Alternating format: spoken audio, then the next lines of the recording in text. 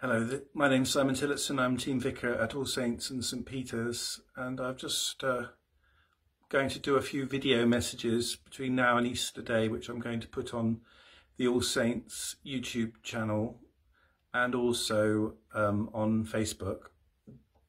Do you know, I've just uh, recorded a, a message uh, which I was going to use, but I've just realised it's the wrong message. I'll tell you what the message was about, and you'll see why it's the wrong message.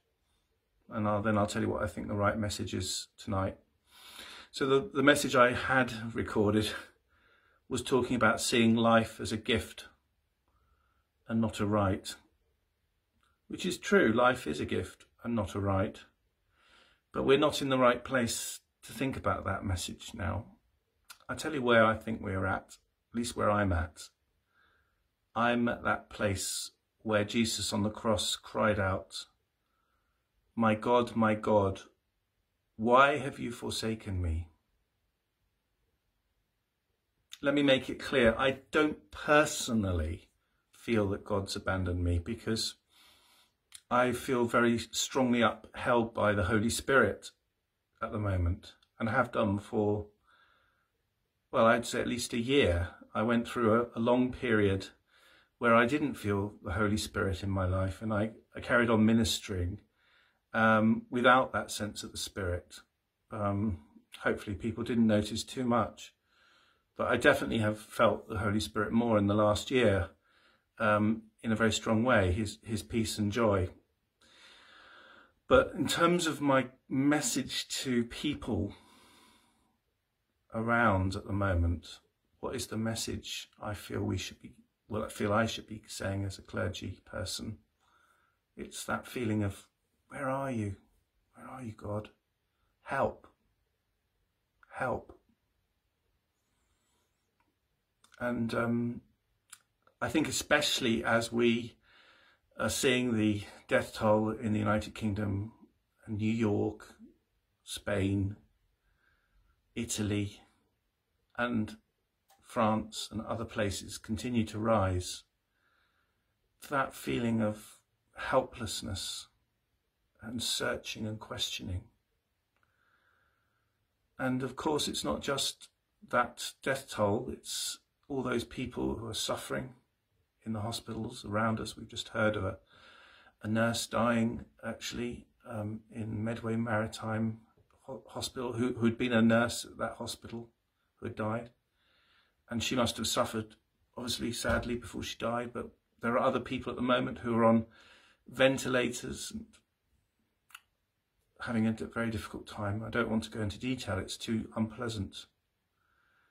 And not just those who are suffering, but also um, it may seem less important, and it is less important, of course, but still needs to be said. There's the worry about the future, people's jobs, their livelihoods, people who've spent a lot of time building up a, a business, people who've worked hard and then not able to sustain their business in the way that they wish.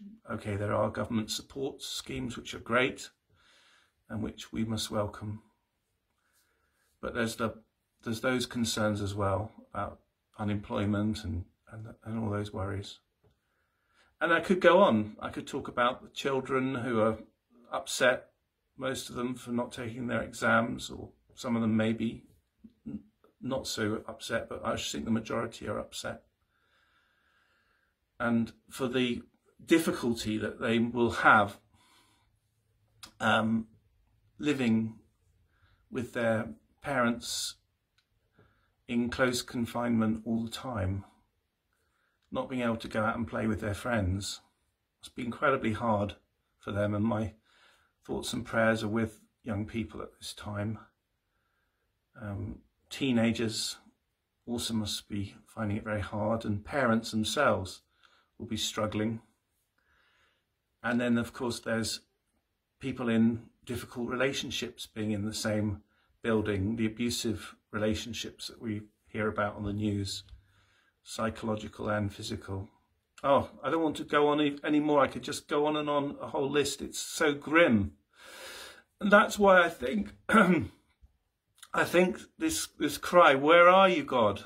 Why, God, have you forsaken me? Is, is, a, is a legitimate cry. And in fact, um, it's a cry that is, is spoken out in the Bible a lot. You know, if you pick up the Psalms and just at random go through them, you'll come across that question time after time in the Psalms. Where are you, God? Why have you hidden your face from me? Where are, where, where, where are you?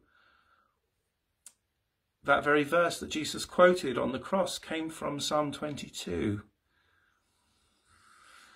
And, and yet, I believe that question is a better question than no questions at all.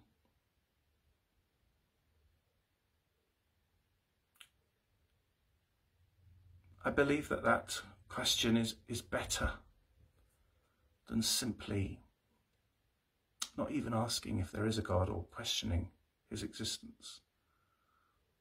Simply living instead in a materialistic worldview where the spiritual is not explored, where the quest for encounter with the divine is not attempted. I remember becoming especially aware um, of the power of materialistic, secular, um, I, I, guess I have to use the word shallowness. When I, um, before I bought a smartphone, I had a normal mobile and I, I, I was on a, um, a plane coming back from, from the German exchange that All Saints um, is runs with our partner churches in Germany and on, uh, I got onto the plane and I was just very aware everyone else had a smartphone and the plane hadn't taken off yet, so everyone still had their phones. And I was just aware just how everybody around me were, were not thinking, that we're not looking um, out of the window or looking at the seats in front of them or pausing to reflect. They were just all looking at their phones, all of them, about 20 of them. And it suddenly made me think, you know, there's something about that culture which is so caught up in the materialistic here and now of the next tweet or the next Facebook post or the next pop song or whatever it might be. Where is the time to reflect and to grow spiritually? Where is the time to meet with God and encounter the transcendent? And then five years later, I catch myself being just as guilty. Now I've got a smartphone of always looking at the next Facebook post or tweet or in my case being addicted to BBC News or Sky News at this time.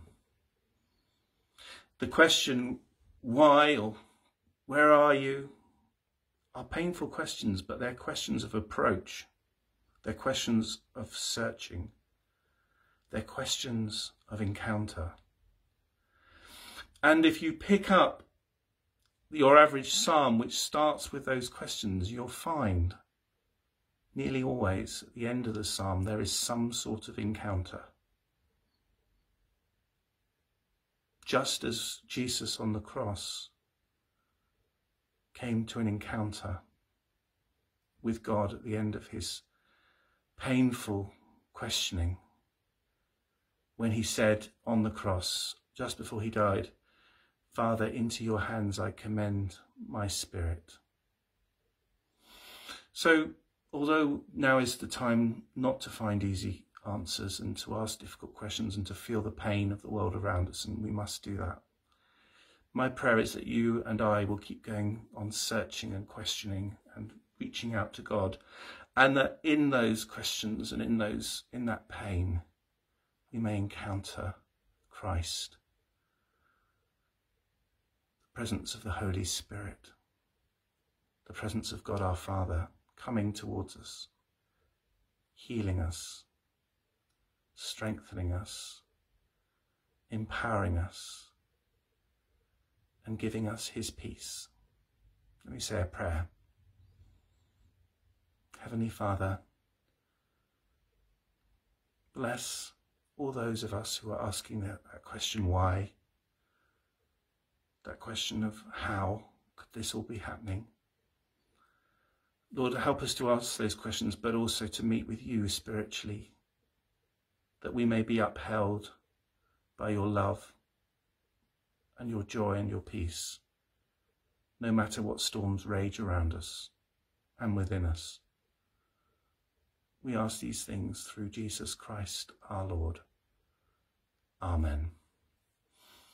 So I'll be doing some more videos um, on YouTube, the All Saints Whitstable YouTube channel, and also my Facebook page, All Saints Facebook page, St Peter's Facebook page, and the All Saints Social and Prayer Group Facebook page.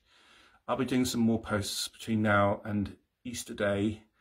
Um, I can't tell you which days I'll be doing them on, but keep checking. And if you want me to send you a notification of when I've done a new one, send me a message and I'll try and remind myself.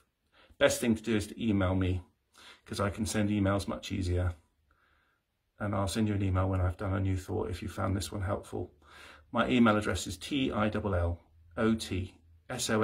Tillotsons at gmail.com. Thank you for listening. Bless you.